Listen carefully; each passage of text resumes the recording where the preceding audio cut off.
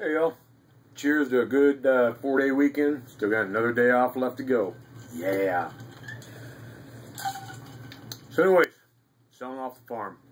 Got a very, very good friend of mine uh, that they are uh, making a move and they need to sell off basically their entire farm. They have goats, they have rabbits, they have chickens. Trust me, I wanted the rabbits.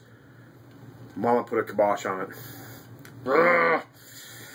A great price too, and it would have had me fully set up for what I need. But is what it is. Sometimes Mama gotta do what Mama gotta do. Either way, lots of chickens, goats, rabbits. Like I said, they even have a 56. Let me look here, just so I get it right. Um, 56,000 BTU mobile home heater. It's only been used for two Phoenix, uh, Arizona winters, which basically means barely used at all. And all they want for it is 100 bucks. You can't beat that.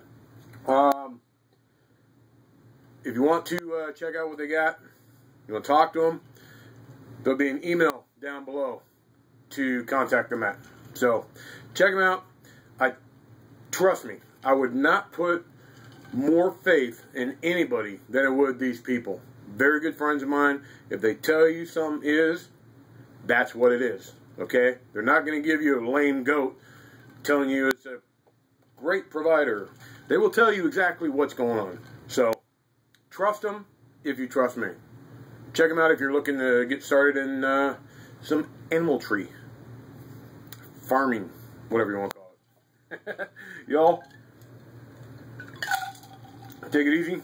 Check out the email down below if uh, you're interested in uh, some aminals and other stuff. Talk to you later.